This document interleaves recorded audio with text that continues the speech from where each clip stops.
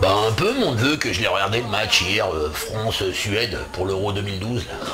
bah bien sûr, enfin c'était plutôt Suède-France hein, en l'occurrence.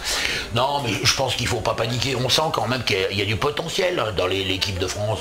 Si, c'est une histoire de stratégie et puis c'est tout, faut affiner un peu le, profil de l'équipe, tu vois.